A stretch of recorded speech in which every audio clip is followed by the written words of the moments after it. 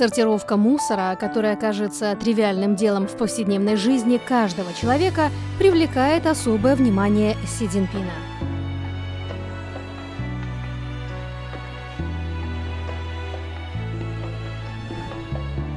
Он считает, что выработка полезной привычки сортировать мусор приведет к улучшению условий жизни и экологии, а также к устойчивому развитию. В таком мегаполисе, как Шанхай, внедрить сортировку мусора гораздо сложнее, чем построить несколько новых зданий.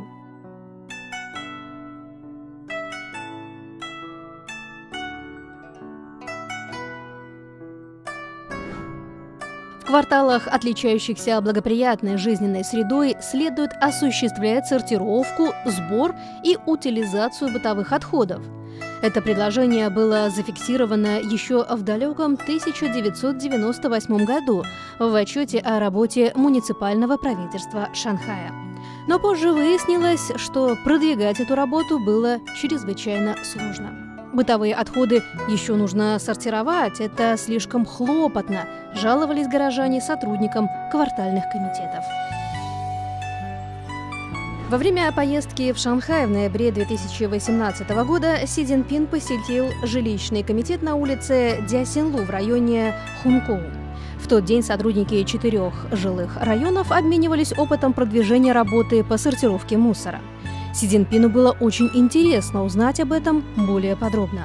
Молодой волонтер рассказал, что общественная благотворительная деятельность уже стала новой модой в обществе.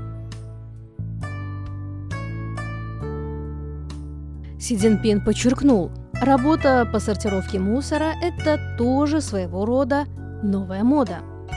Комплексная переработка мусора требует участия всех жителей страны – и Шанхай должен в срочном порядке выполнить эту работу. К концу 2019 года сортировка мусора на улице Дзясинлу достигла 90%.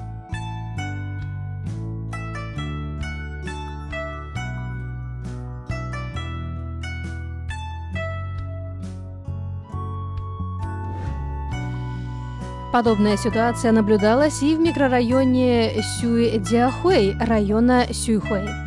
В этом микрорайоне проживают тысячи человек. В процессе продвижения работы по сортировке бытовых отходов уровень осведомленности населения о важности сортировки мусора достиг 100%. Уровень участия в этой деятельности превысил 95%. Сортировка мусора стала новой модой в этом мегаполисе и постепенно стала новой привычкой жителей Шанхая.